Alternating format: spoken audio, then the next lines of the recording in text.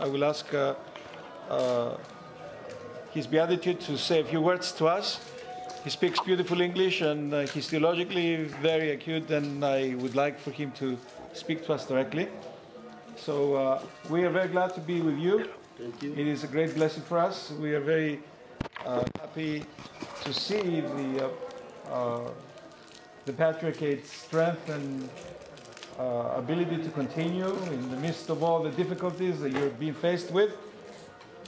And we pray for you, and uh, we ask you to pray for us, because we are faced with many other difficulties, different ones. But in the end, they're all spiritual battles toward the kingdom of God. So, can you please tell us a few words? We don't want to take too much of your time. I know there are people waiting for you, but we would love to hear you, and the people love to hear you. And we thought that we shouldn't leave Jerusalem without hearing a word of encouragement from you for us and about the faith, about the Orthodox faith, and about our understanding of the kingdom of God and how we get there. Uh, thank you very much. If you would please close the door, somebody. Uh, no, even if you close, it doesn't work because this is uh, you are a witness of one of our small community that uh, is here. They come from the northern part of Israel. Ah, okay. It's nearby the borders, Lebanese borders, right? And um, this small community has built a church, which is, I think, is the biggest in the Middle East. they are uh, so proud, right? And actually, the whole community is uh, a big family, right? That's good. Yes, and now they came to me and uh, because they want to complete the church, and uh, they were so desperate They need help. to help them financially. Yeah, to cover all. Can we help maybe? Yes, you can help, of course. If you can uh, put us in contact with them, Yes, that's right. and the next time maybe we'll visit them when we bring a group. Yes, that's this is the best way. Yeah. So this is I promised them, and when you promise, you have to keep your promise, right? Well, we'll help you keep your promise. that's why this is the way. That's the way to. So this is why they are here, and uh, I try to help them as much as we can because they have so many responsibilities and uh, many obligations, and we have so many churches. Many You needs. know, the the patriarchate here is the mother of all churches, right? Is the, it is from here that Christianity was spread all over the world, and the church were expanded. So, and the patriarchate plays an important role in here because it's the only uh, religious, ecclesiastical, Christian institution that uh, has a, a history of uh, almost 2,000 years, right? And uh, Patriarchate's history has been uh, continuous and uh, unbreakable. And today the Patriarchate plays an important role here in the Middle East, first in Jerusalem and in the broader area of the Middle East. And I'm saying this because the Patriarchate is actually the the embodiment of the sacred history, right? And what is the sacred history? The sacred history is the history of salvation, is the history that began on Mount Sinai with Prophet Moses and culminated in this uh, uh, part of the earth, in this land, with the nativity of our Jesus Christ in uh, Bethlehem, and of course with the crucifixion, his passion, and his resurrection here in uh, Jerusalem. Therefore, you can uh, understand what is the significance and the importance of the Patriarchate in uh, maintaining the sacred history, maintaining all those uh, holy places that actually those holy places are the undeniable witnesses and testimonies to the sacred history. And the strength of the Patriarchate is that uh, has managed with the help of God, with the help of the Holy Spirit, uh, with the, through the, throughout the ages, with the order of the Brotherhood of the Holy Tomb, has managed the Patriarchate here to keep and uh, to safeguard and uh, serve the holy places, and the holy places have uh, uh sustained and uh, remained as places of worship. This is very important. And this uh, practice continues until today. If it wasn't for the brotherhood here of the Holy Tomb, most of the holy places would have been vanished or destroyed or disappeared, as it has happened in many cases, right? When we talk about holy places, we talk about places that are uh, belong to the sacred history, places that are uh, uh, equally uh, holy and sacred to the Jews, to the Muslims, and to all Christians as well, right? Uh, we have many examples. For instance, there is the Temple Mount, which is the holiest place for the Jewish people. This is the, their place of their forefathers, right? This is why they came here. They want to be here. At the same time, this is this was it is a holy place for us Christians because with Jews we share common roots and common trunk. Just the branches are diverting, right? Uh, with the Muslims as well, we share a lot in common. This is why here uh, the people they prefer to use the word not monotheistic so much as much as Abrahamic faith, right? It's more uh, inclusive, more accurate, right? Because uh, to use the word monotheistic is not that very clear because there are two kinds of monotheism. One is the moral monotheism that we belong to, and the other is just monotheism something very abstract. It's uh, fleeting uh, ideas, ideologies, etc., right? you understand what I mean by this? No beginning, no end, right? Mm-hmm. Now, and uh, the patriarchate here, everybody is recognizing and admitting the role of the patriarchate, and this is why the patriarchate does not need to produce any, any paper uh, to prove its uh, legal status. I mean, the patriarchate by itself uh, has a, a legal uh, status because everybody who is in this area, he came and found us in here, right? So this is why the patriarchate enjoys great uh, respect, and the patriarchate is recognized as the only religious Christian institution uh, that represents here all the people, that represents all Christians, and uh, the Patriarchate plays an important role in defining in the future, let us hope, the political and the diplomatic status of uh, and the religious status of uh, Jerusalem, especially the the old city. Now the uh, the patriarchate here is considered to be the, the uh, to, to be the identity, the cultural and religious identity of uh, the Christians who are living here. And I mean all Christians. Uh, the, the Patriarchate here is uh, the only Christian institution that is totally independent, autonomous, and autocephalous. You know what doesn't mean autocephalous, you know, doesn't mean automobile, right? It's a Greek word, right?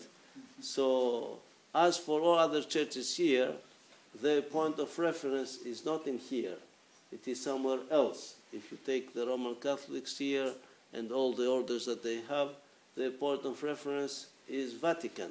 So, the Vatican, the Pope, is in charge for the Roman Catholic uh, uh, institutions and others here. The same applies to the Anglicans, the same applies to the Lutherans, even to the Oriental Church is the same. For instance, the Copts, the patriarch there uh, is in, uh, in uh, Egypt, in Cairo. The, the Ethiopians, they have their uh, uh, head, their office is in, Addis in Addis Ababa. The same applies to the Syrians and other communities that are, are existing here, right? So uh, now, the Patriarchate today plays an important role because the, spirit, the spiritual jurisdiction of the Patriarchate uh, covers the state of Israel, the Palestinian state or the occupied territories, and of course the Hashemite kingdom of uh, Jordan, right? And the Patriarchate is considered to be a state within a state. This is, we have also our ecclesiastical courts, we have our schools, and many other uh, institutions. And uh, the contribution of the Patriarchate to the land here, to the Holy Land, first of all, and then to the Christians, is uh, immense and uh, tremendous. But of course, today there are all sorts of uh, problems because Jerusalem was and continues to be and will always be the focus of uh, attention of the whole world, right? Why? Because, uh, as I've said, Jerusalem is connected, associated with the sacred history. And the sacred history is not something uh, abstract. Uh, it's, it's, not something that belongs to the human inventiveness or to the human speculation, right? Because uh, uh, we as Orthodox, having this Greek background, the heritage of, uh, of philosophy, the heritage of mythology, right? We are fed up with speculation and inventiveness, but uh, the Orthodox faith has nothing to do with speculation.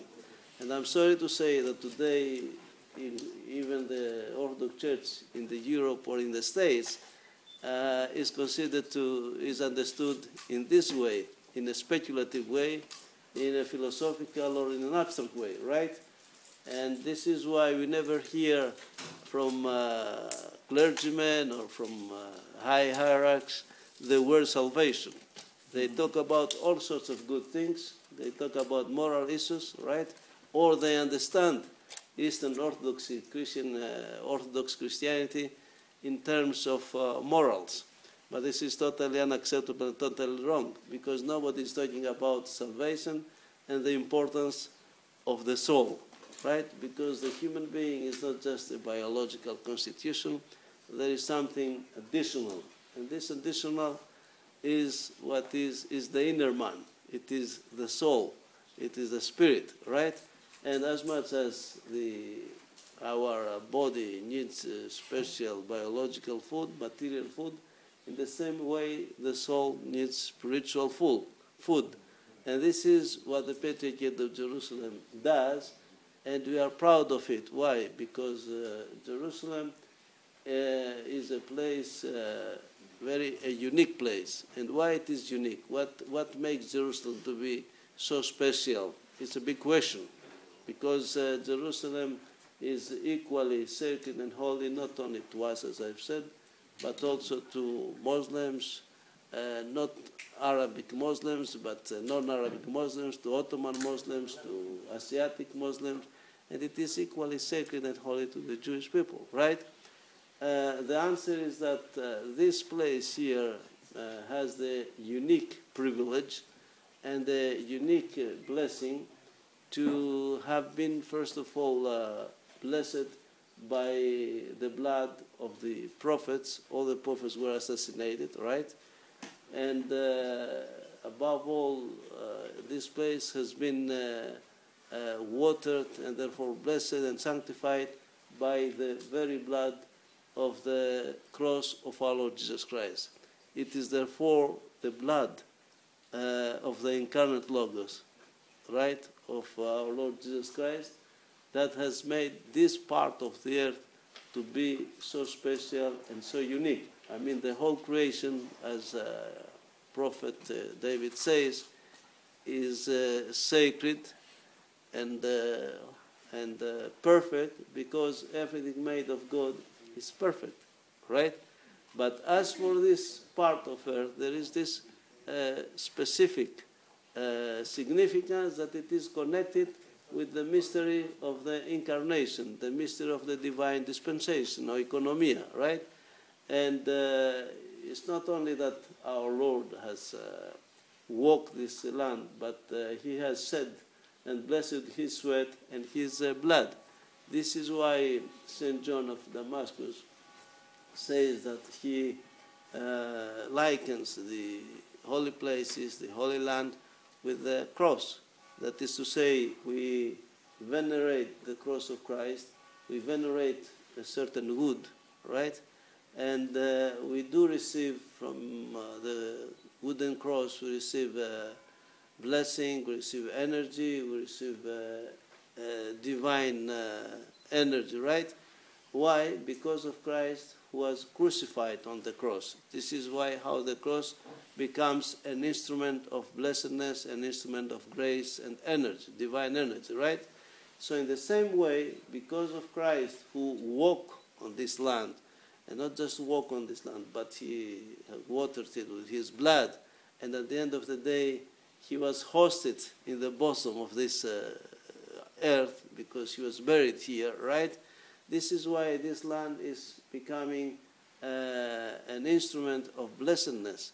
This is why it's not by accident that the Church of Jerusalem, uh, in all our prayers, we invoke the grace of the Holy Tomb and of the holy places to the pilgrims and those who are living in here. So your presence here, it's a great uh, blessing, uh, not only for you, but for us. For you, it's a great, great blessing because you have given this opportunity to be here and to come like uh, Apostle Thomas, right? To see with your physical eyes, to understand with your spiritual eyes, and above all, to touch with your physical senses all those places, all those stones that bear uh, witness to the crucifixion, to the preaching, to the miracles, and above all, to the resurrection of our Lord Jesus Christ, right? And uh, we here, uh, at the same time, this blessing not only for you personally, individually talking, but it is for your families and for your countrymen. Uh, at the same time, your presence here is a blessing for us, and when I say for us, I mean for the Christians here and for us, the fraternity here, the Patriarchate, because uh, you are, uh, your presence is a sign of uh, encouragement to our mission here, and it is a sign of encouragement to our Christians who are living in this uh, area, uh, because why it is an encouragement? Because like this, our Christians here, they feel that they are not abandoned, they are not forgotten, right?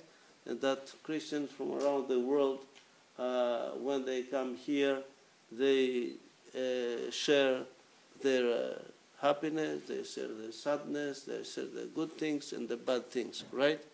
Because, uh, as St. Paul says, when one member of the body uh, suffers, the whole body suffers. When one body is, uh, Rejoices. enjoys, every right. So I hope and pray that uh, your uh, pilgrimage, which is called the pilgrimage of Theoria, uh, it is called the pilgrimage of Theoria, you pilgrims, pilgrimage here. Why? Because uh, the very and ultimate and absolute purpose of the church and I'm sorry to say that I speak of the Orthodox Church, uh, is precisely this to help us, to make us worthy to attain to the experience that the disciples of Christ had uh, on the day of transfiguration or metamorphosis, to use the Greek word, on Mount Tabor. It was there that uh, Christ, He Himself, before His passion and before His resurrection, he manifested his glory to his disciples, and uh, the disciples, as much as the Holy Spirit uh, was allowing them, they could uh, see with their physical eyes, but above all, they could uh, uh, contemplate, to be more precise, with their spiritual eyes, what the glory that Christ manifested. And what is the glory that Christ manifested? It is the light of the kingdom. It is what we call paradise. It is what we call the ultimate purpose of the church.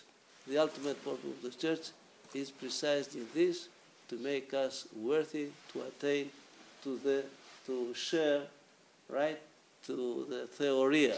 The theoria in uh, the language of the church fathers means to come to a state of deification.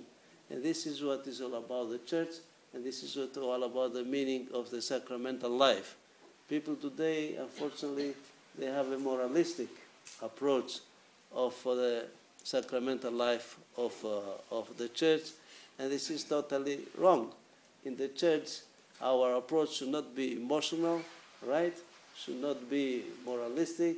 We should not uh, think of ourselves as being good people, that it means that we have attained to the uh, vision and contemplation of the glory of God.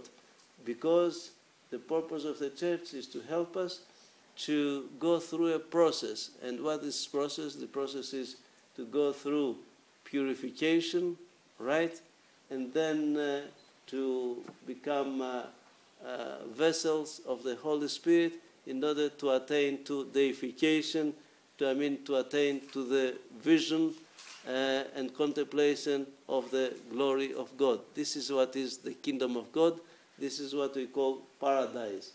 And uh, I hope and pray that your uh, pilgrimage of Theoria here in the Holy Land would uh, be a dynamic experience, that this would dwell in your hearts, and you should not keep it only for your own uh, benefit, but you, when you go back to your uh, uh, country, please try to convey and communicate this uh, experience to your own uh, relatives, to your own children, to your own uh, friends, and above all to your own compatriots, and so that they would be encouraged to have their own pilgrimage here in uh, the Holy Land.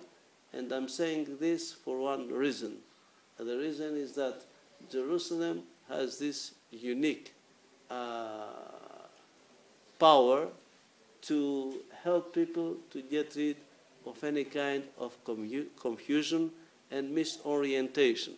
Because today we are living in a time that all of us, willingly and willing, consciously and consciously, we fall victims of what we call New Order.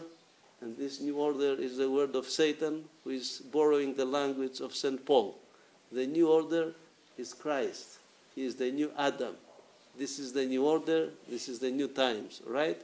And today, globalization, it's the worst enemy of all of us because globalization is the act of the evil powers, and this is what, where people they fall uh, victims.